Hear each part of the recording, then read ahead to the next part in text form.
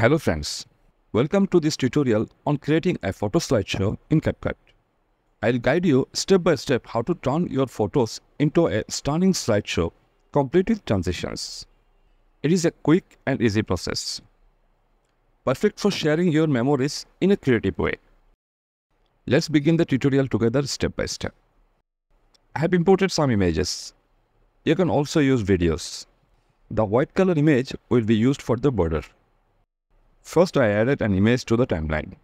It will be used for the background. Increase the duration of the image. I have set the duration to 15 seconds. Ensure that the aspect ratio is 16 and 9. Sometimes when we work with images, it automatically changes the aspect ratio. But the image I added does not cover the entire skin. That's why I have increased the scale value. Add the white image to the timeline and increase the duration. Disable the uniform scale because I want to use separate scale values for the height and width. I've set the height value to 55% and the width value to 45%. Add an image to the timeline. Then resize the image and fit it within the white background. Increase the duration of the image. Lock the main video track. Now we need to add more images, but repeating the same process will take too much time. Instead, I will use a shortcut. Select both image Create duplicate copies using Alt plus left mouse button and place them on the above video track. Then replace the image. To replace an image or video, simply drag a new one from the Import tab and drop it on the existing one. Applying the same technique, you can add as many images as you want. I added 5 images. Now you have to create compound clip for each pair.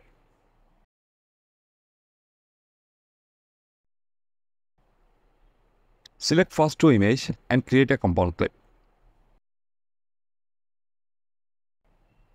Similarly, create compound clips for the other images.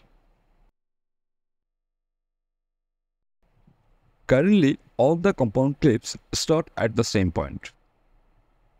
We need to adjust that. Set the starting point of the second compound clip at the 3 second position. I have set each compound clip to start at 3 second intervals.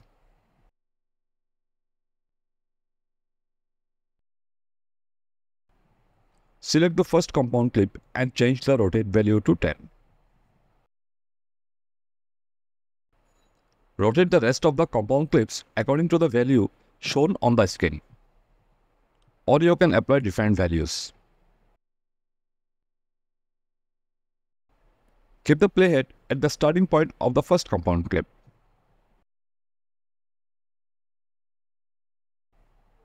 At that point, add two keyframes to the position and rotate.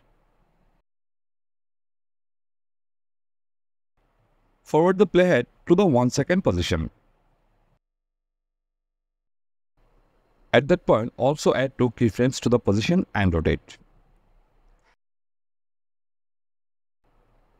Move the playhead to the first keyframe position. At the first keyframe position, set the rotate value to minus 270.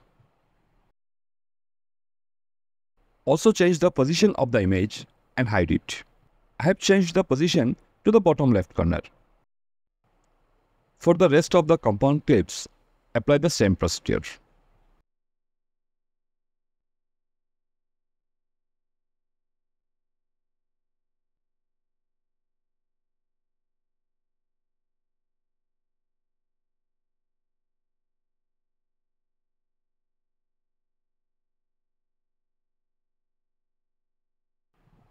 That's all from this tutorial. Thank you for watching this video. If you found this tutorial helpful, we would appreciate your support by liking it, sharing it with friends and subscribing for more insightful tutorials. Let's continue our learning journey together.